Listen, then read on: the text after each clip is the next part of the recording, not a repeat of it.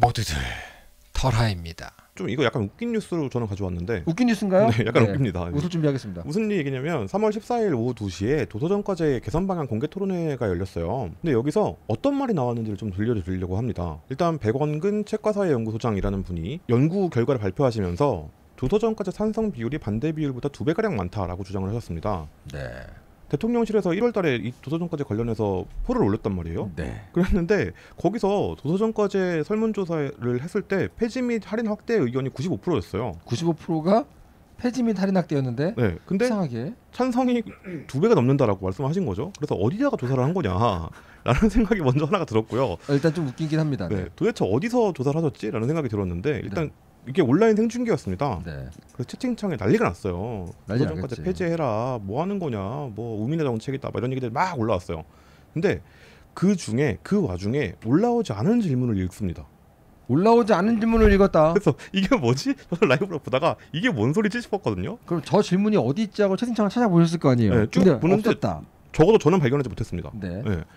우리나라는 왜 도서정가제라고 하면서 할인법처럼 할인을 정하지 않는가, 할인율을 정하지 않는가, 왜 완전 정가제로 가지 않는가라는 네. 질문이 나왔다라면서 외국은 어떻습니까? 아, 이 질문 굉장히 날카롭습니다라고 말씀하신 거예요. 근데 채팅창에서는 그 질문이 없었다. 네, 어, 혹시 그 숙, 숙달된 스트리머 같이 네. 아, 이게 트위치 창, 유튜브. 창 동시에 여러 개를 근데 유튜브로 생중계를 일단 한다고 했기 때문에 제가 들어가는 채널이 유일할 거고요. 아 그래요? 네. 네. 아니면 그래서- 요즘 보통 트위치하고 이원생 동시에 하거든요. 네. 혹시 다른 쪽에 와- 올라온 질문은 아니었을까? 그래서 약간 이게 이게 뭔 소리지? 되게 머릿속에 물음표가 가득, 계속 가득한 거예요. 네, 네.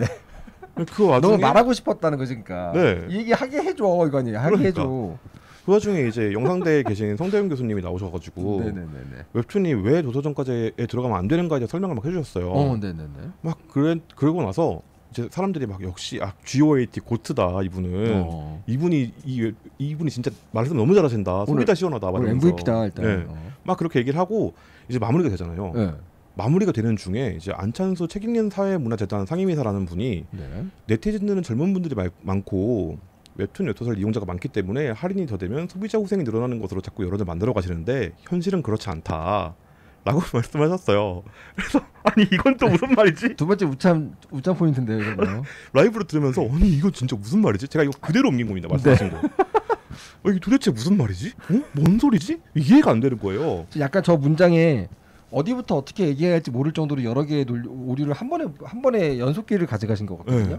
그래서 그러니까 인터넷에서 조사하면 네. 95%가 도서정까지 폐지가 나오고 오프라인으로 길에서 조사하면 조사하면 반반이 우리가, 나온다. 우리가 직접 조사를 하면 밤 찬성 비율이 두 배가 넘는다. 이 말씀하시고 계시는 거예요. 그래서 어, 도대체 어떤 세상에 살고 계시는 거냐. 진짜 신- 진짜 신기한. 야. 네, 그래서- 이건- 아. 보기도 못 어르신인데요. 네, 그래서 너무 이게 무슨 말이지 싶어가지고 아 이게 무슨 소리지 해서 이제 성대현 교수님한테 바로 전화를 했어요. 끝나고 나서 어 바로 그분에게. 네. 네. 고생 많으셨습니다. 어떻게 이제 그 준비하셨냐? 오늘 MVP에게. 다시는 나오고 싶지 않다. 내가 MVP 하긴 했지만 어, 내가 네. 무쌍을 찍긴 했으나 네. 솔직히 하고 싶지 않은 게임이었다. 너무 힘들다라고. 아, 교수님 고생하셨고 네. 감사드리고요. 네. 그다음에 네. 이제 어. 마지막에 네네네. 끝에 끝에 이제 질문을 받으면서 네네. 현장에서 이제 질문을 받잖아요. 근데 플로어에서 중소형 서점을 운영하고 계신 분이 네. 한 40개 정도의 중소 서점이 모여 있는 가맹 그 그런 걸 만드신 분인 거예요. 플랫폼을. 네, 서점 협의회 같은 거를 네네네네. 거기 분이 도서점까지가 이제 8년이 넘었는데 네. 회원 가맹점 수에는 큰 변화가 없다. 음. 근데 매출액이 40% 가량, 가량으로 떨어졌다. 음. 그러니까 60%가 날아갔다는 거예요. 그죠 그죠 그죠. 그러니까 100만 원 팔다가 40만 원 팔게 된 상황이다. 좋은 취지로 시작했을지 모르겠지만 동네 서점 갈수록 어려워지고 있다. 네네네. 지역 서점이 망할 위기까지 왔다. 그러니까 같이 살 수 있는 방법을 찾아달라.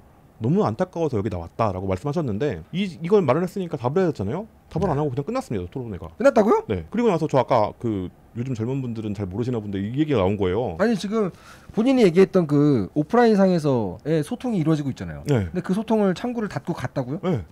그래서 이게 이게 뭐지? 그 댓글에서 난리가 난 거예요. 난리 나겠지. 이게 토론회냐 이러면서 난리가 난 거예요. 아, 솔직히 그 말하고 싶었던 것은 많고 정리해온 것도 많지만 그것이 전제가 틀렸다는 것을 인정할 준비가 안 돼 있던 걸까요? 아, 제가 그래서 이- 보통 이런 뉴스가 나오면 어디가 틀렸는지 반박을 하잖아요. 그죠 그죠. 아 이건 반박하는 것보다 그냥 이걸 들려 들려드리는 게 낫겠는데 음. 싶은 생각이 들었습니다. 그래서 그대로 가져오셨군요. 네, 그래서 안타까운 소식이지만 웃참 포인트가 두 번 있었고요. 그래서 댓글창을 중간에 막았다가 네. 실시간 댓글창을 막으면 어떻게 되는지 아시죠? 아. 오프라인으로 전화가 갑니다. 야. 댓글창 열라고 그래서 다시 열었어요. 그 사람들 라이브 때 댓글창을 처음 막아봤나 보네. 네.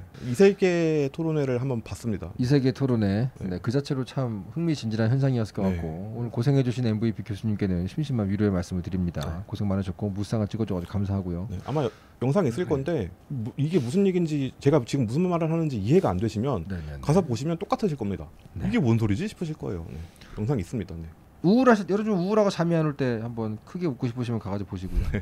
많이들 보셨을 거예요, 근데. 네, 맞아요. 댓글창에 지금 댓글만 보셔도 꿀잼일 겁니다. 네. 그렇습니다.